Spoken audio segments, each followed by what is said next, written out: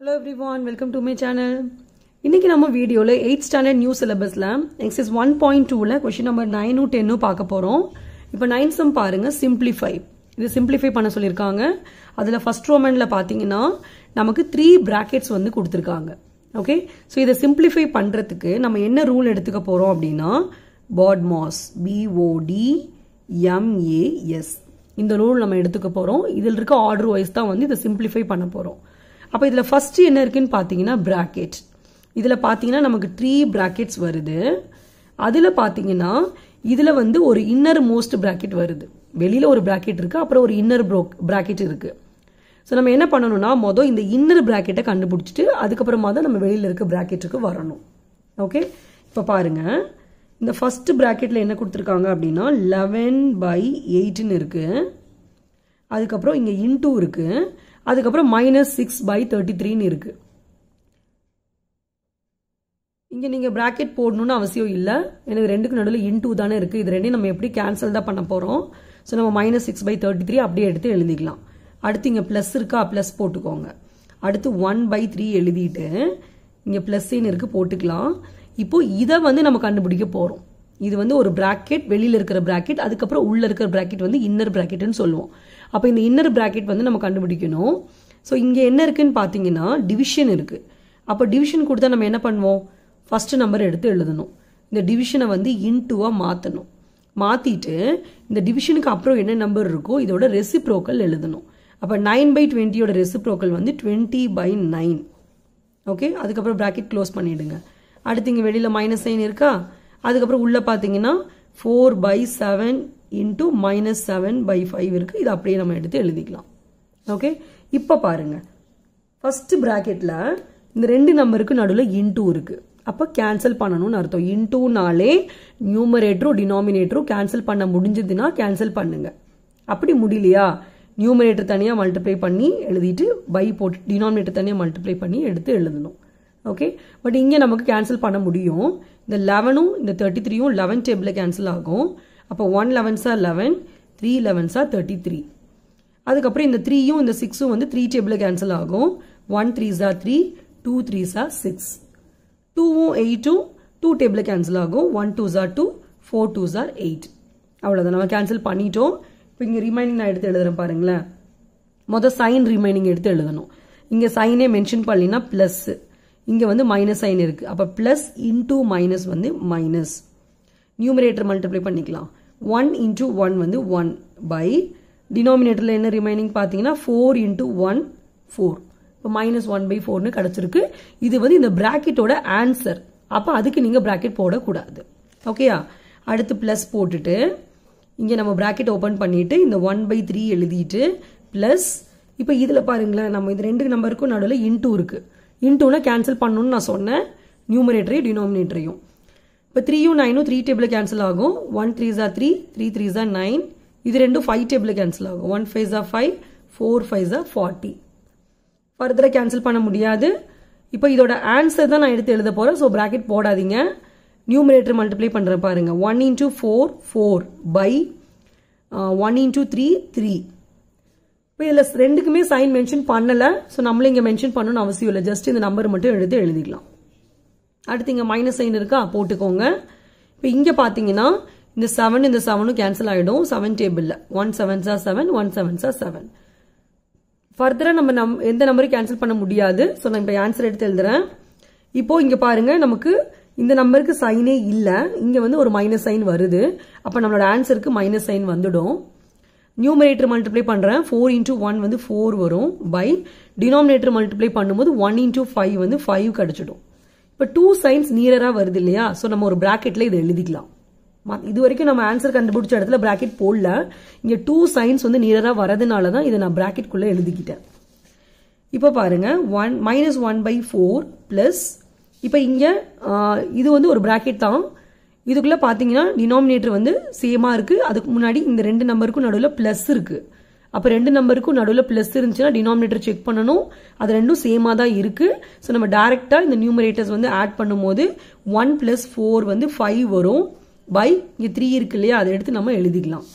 அடுத்து two signs நியராக வந்ததுன்னா இது எப்பயுமே மல்டிப்ளை பண்ணி ஒரே சைனாக மாற்றணும் இப்போ மைனஸ் இன்டூ மைனஸ் மல்டிப்ளை பண்ணும்போது உங்களுக்கு ப்ளஸ் வந்துடுது அப்புறம் ஃபோர் பை ஃபைவ் எடுத்து எழுதிக்கோங்க.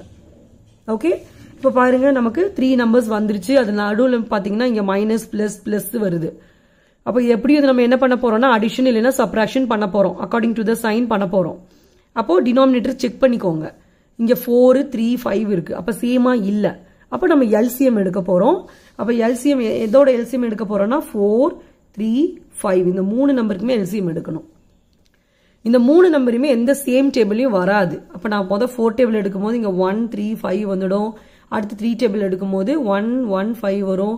அடுத்து ஃபைவ் டேபிள் எடுக்கும்போது ஒன் ஒன் ஒன் வந்துடும் இப்போ பாருங்க எல்சிஎம் என்ன வந்துடும்னா four into three into five sixty தான் வந்து எல்சிஎம் ஃபோர் த்ரீ தான் டுவெல் டுவெல் இன்டு ஃபைவ் வந்து சிக்ஸ்டி தான் எல்சிஎம் இப்போ ஒரு ஒரு நம்பரையும் வந்து நம்ம சிக்ஸ்டி வர மாதிரி மாற்ற போகிறோம் அப்போ ஃபோர் கூட எந்த நம்பர் மல்டிப்ளை பண்ணால் சிக்ஸ்டி வரும் அப்படின்னா இப்போ இங்கே பாருங்க four into three into five தான் வந்து சிக்ஸ்டி இப்போ நமக்கு ஃபோர் கூட எந்த நம்பர் மல்டிப்ளை பண்ணால் சிக்ஸ்டி வரும்னு தெரியணும். அப்போ அதுக்காக ஃபோரை மறைச்சிக்கோங்க. அப்போ இங்கே என்ன இருக்கு பாருங்க? த்ரீயும் ஃபைவும் இருக்கா? த்ரீ இன்டூ ஃபைவ் என்ன வரும்? ஃபிஃப்டீன் வருமா? அப்போ ஃபோர் கூட ஃபிஃப்டீன் மல்டிப்ளை பண்ணாதான் சிக்ஸ்டி வரும்னு அர்த்தம். அப்போ நியூமரேட்டர்லையும் ஃபிஃப்டீன் எழுதிக்கலாம். இப்போ அடுத்து த்ரீ கூட எந்த நம்பர் மல்டிப்ளை பண்ணால் சிக்ஸ்டி வரும் அப்படின்னா இப்போ இங்கே த்ரீ மறைச்சிக்கோங்க. இப்போ பேலன்ஸ் என்னென்ன இருக்குது ஃபோர் இன்டூ ஃபைவ் இருக்கா? அப்போ டுவெண்ட்டி நியூமரேட்டர்லேயே டுவெண்ட்டி எழுதிக்கலாம். இன்டூ டுவெண்ட்டி எழுதிக்கலாம். அடுத்து ஃபைவ் கூட எந்த நம்பர் மல்டிப்ளை பண்ணால் சிக்ஸ்டி வரும்? ஃபைவ் மறைச்சிட்டு பார்த்தீங்கன்னா ஃபோர் இன்டூ த்ரீ டுவெல் வரும். அப்போ இங்கே டுவெல் எழுதிக்கிறோம். இங்கேயும் வந்து டுவெல் எழுதிக்கிறோம். இப்போ பாருங்கள் டினாமினேட்டரில் வந்து நமக்கு இங்கேயும் பை சிக்ஸ்டி வரப்போகுது. இங்கேயும் பை சிக்ஸ்டி இங்கேயும் பை சிக்ஸ்டி தான்.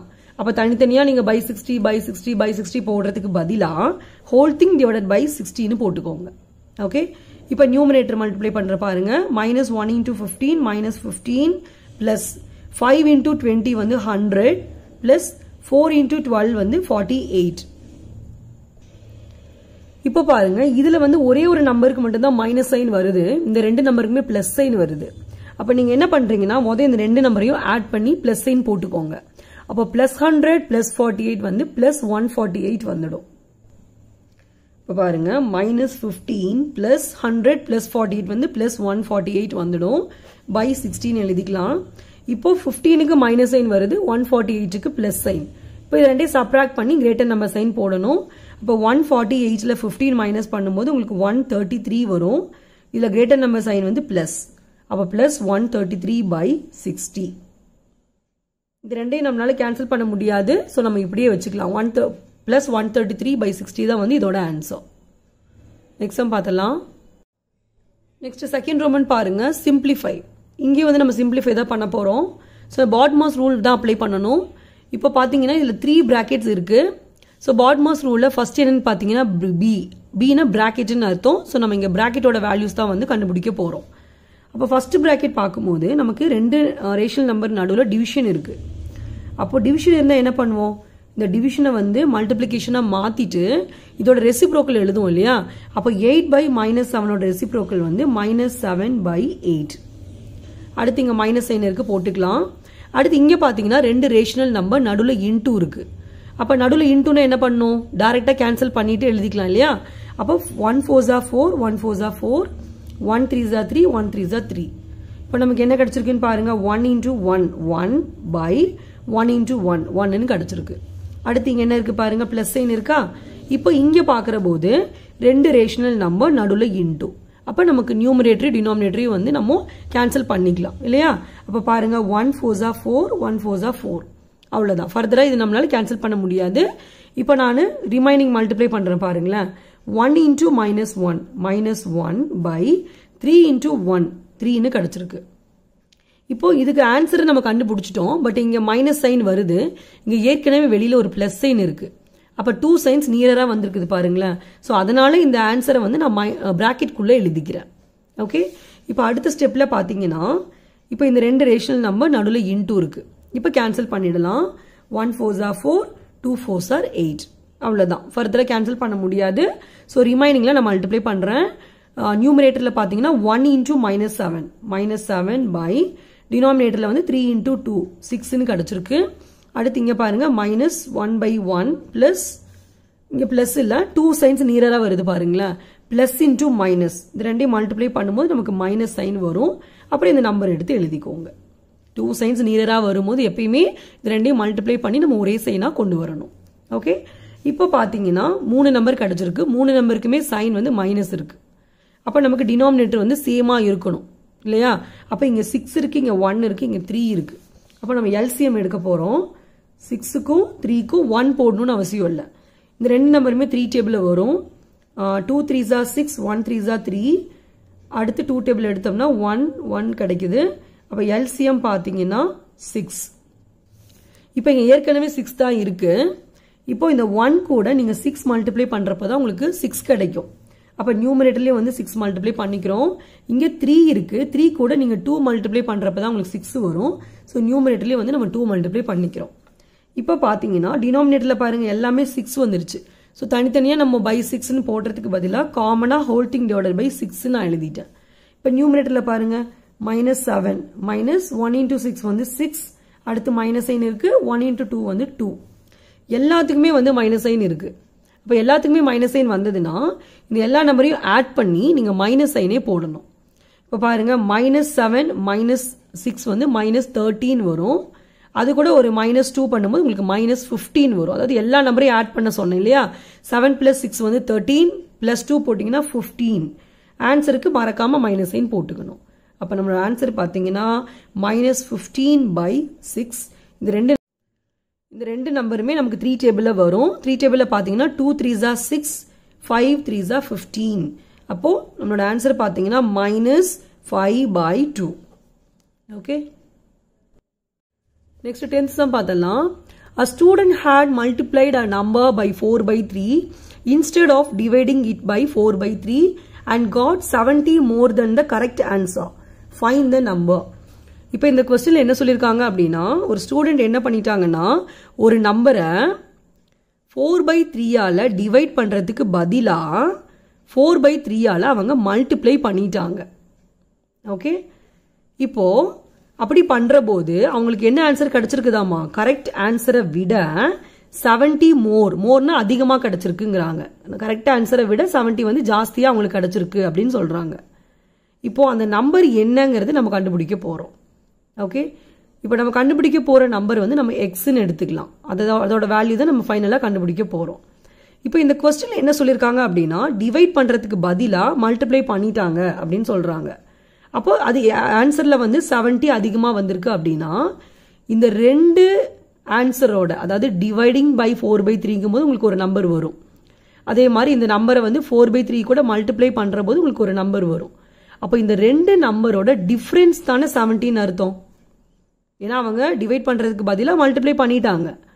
அப்போ செவன்ட்டி அதிகமாக வருது. அப்படின்னா என்ன மீனிங்னா இந்த ரெண்டோட டிஃப்ரென்ஸ் டிஃப்ரென்ஸ்னா மைனஸ்னு அர்த்தம். இது ரெண்டையும் சப்ராக்ட் பண்ணால் உங்களுக்கு செவன்ட்டி வரும் அப்படின்னு அர்த்தம்.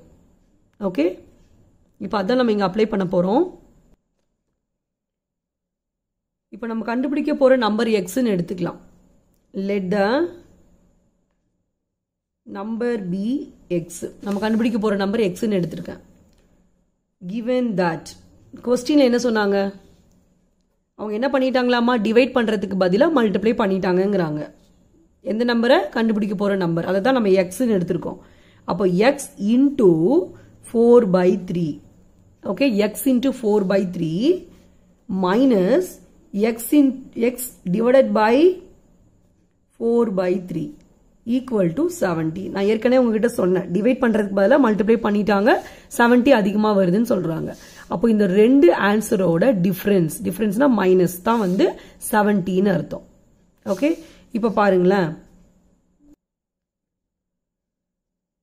X into four by three minus இந்த எக்ஸ் எடுத்து எழுதிட்டு இந்த டிவிஷன் இருக்கு இல்லையா? அந்த டிவிஷனை வந்து நம்ம இன்டூவாக மாற்றுறோம் மாற்றிட்டு இதோட ரெசிப்ரோக்கல் எழுதும் போது ஃபோர் பை த்ரீயோட ரெசிப்ரோக்கல் வந்து three by four equal to seventeen நமக்கு கிடச்சிருக்கு. இப்போ லெஃப்ட் ஹேண்ட் சைட் பார்த்தீங்கன்னா நமக்கு ரெண்டு டேர்ம் வருது. இந்த ரெண்டு டேர்ம்லையுமே வந்து எக்ஸ் இருக்குது ஸோ நான் எக்ஸை வந்து காமனாக வெளியில் எடுத்துடுறேன். அப்போது இந்த ஃபஸ்ட்டு டேர்மில் என்ன பேலன்ஸ் இருக்கும்னா எக்ஸ் வெளியில் போயிடுச்சு. அப்போ நமக்கு ஃபோர் பை த்ரீ மட்டும் பேலன்ஸ் இருக்கும். அப்போ எழுதிக்கலாம் ஃபோர் பை த்ரீ அடுத்து பாருங்க இங்க மைனஸ் சைன் இருக்கா? மைனஸ் சைன் போட்டுக்கோங்க. எக்ஸ் வெளியில கொண்டு போயிட்டோம். அப்போ இங்கே நமக்கு என்ன பேலன்ஸ் இருக்கு? த்ரீ பை ஃபோர் பேலன்ஸ் இருக்கு. எடுத்து எழுதிக்கோங்க. ஈக்குவல் டு இங்கே என்ன இருக்குன்னா செவன்ட்டி இருக்கு இல்லையா? அதை அப்படியே எடுத்து எழுதிக்கோங்க. இப்போ பாருங்க எக்ஸ் இங்கே நான் எல்சிஎம் எடுக்க போகிறேன் ஏன்னா ரெண்டு ரேஷனல் நம்பர் நடுவில் மைனஸுங்கும் போது டினாமினேட்டர் சேமாக இருக்கணும். அப்போ எல்சிஎம் எடுக்கிறேன். அப்போது இங்கே ரெண்டு நம்பருமே சேம் டேபிளில் வராது. அப்போ த்ரீயையும் ஃபோரையும் மல்டிப்ளை பண்ணால் என்ன வருமோ? அதுதான் எல்சிஎம் அப்போ டுவெல்னு கிடச்சிருது. அப்போ இங்கே த்ரீ இருக்குது அப்போ இது கூட நீங்கள் ஃபோர் மல்டிப்ளை பண்ணுறப்ப தான் உங்களுக்கு டுவெல் வரும். அப்போ நியூமரேட்டர்லேயுமே ஃபோர் மல்டிப்ளை ஆகிடும் இங்கே வந்து ஃபோர் இருக்குது த்ரீ மல்டிப்ளை பண்ணுறப்ப டுவெல் வரும். அப்போ நியூமரேட்டர்லேயும் வந்து த்ரீ மல்டிப்ளை ஆகிடுது இப்போது இங்கேயும் பை டுவெல் பை டுவெல் காமனாக நான் பை டுவெல் போட்டேன். நியூமரேட்டரில் பாருங்கள் four into four sixteen minus three into three வந்து நைன் கிடச்சிருக்கு. ஈக்குவல் டு செவன்ட்டி இப்போ எக்ஸ் நம்ம அப்படியே எழுதிக்கலாம். இப்போ இன்சைட் த ப்ராக்கெட் பார்த்தீங்கன்னா சிக்ஸ்டீன் மைனஸ் நைன் நீங்கள் பண்ணும்போது உங்களுக்கு செவன் வரும். சிக்ஸ்டீனுக்கு முன்னாடி சைன் இல்லைன்னா ப்ளஸ் இருக்குன்னு அர்த்தம். இப்போ ஒரு நம்பருக்கு ப்ளஸ் ஒரு நம்பருக்கு மைனஸுங்கும் போது இது ரெண்டையும் சப்ராக்ட் பண்ணி கிரேட்டர் நம்பர் சைன் போடணும். அப்போ நமக்கு ப்ளஸ் செவன் கிடைக்கும். பை இந்த டுவெல் எடுத்து எழுதிக்கோங்க. ஈக்குவல் டு செவன்டி இப்போ எக்ஸ் ஒரு பிராக்கெட் இந்த நம்பர்னா இது ரெண்டுக்கும் நடுவில் இன்டூ இருக்குன்னு அர்த்தம். ஓகே இப்போ நம்ம கண்டுபிடிக்க போகிறது எக்ஸ் ஸோ எக்ஸ் மட்டும் இங்கே வச்சுட்டு இந்த செவன்ட்டி வந்து ரைட் சைடில் இருக்குது அதையும் நம்ம அப்படியே வச்சுட்டு இந்த எக்ஸ் கூட இருக்கு இல்லையா இந்த நம்பர் இந்த நம்பர் வந்து ஈக்குவேஷனுக்கு நெக்ஸ்ட் சைடு நம்ம கொண்டு போக போகிறோம் அப்போ இங்கே இது ரெண்டுக்கும் நடுவில் இன்டூ இருக்குது இல்லையா? அப்போ செவன் வந்து இங்கே நியூமரேட்டரில் இருக்குது நெக்ஸ்ட் சைடு மூவ் பண்ணும்போது இது டினாமினேட்டர் போயிடும். அதே மாதிரி டுவெல் வந்து டினாமினேட்டரில் இருக்குது நெக்ஸ்ட் சைடு மூவ் பண்ணும்போது இது நியூமரேட்டர் போயிடும். அப்போ நமக்கு எப்படி வந்துடும் பாருங்கள் மேலே இருக்க செவன் இங்கே கீழே போயிடுது கீழே இருக்க டுவெல் வந்து இப்படி மேலே போயிடுது. ஓகே இப்போ பாருங்க இந்த ரெண்டு நம்பரும் செவன் டேபிளில் கேன்சல் ஆகும். ஒன் செவன்ஸா செவன் டென் செவன்ஸா செவன்டி அவ்வளோதான் கேன்சல் பண்ணிட்டோம். இப்போ மல்டிப்ளை பண்ணிடலாம். டென் இன்டூ டுவெல் வந்து ஒன் டுவெண்ட்டி பை ஒன் போடணும்னு அவசியம் இல்லை. அப்போ இதுதான் நம்மளோட answer therefore the number is one twenty okay that's all. Thank you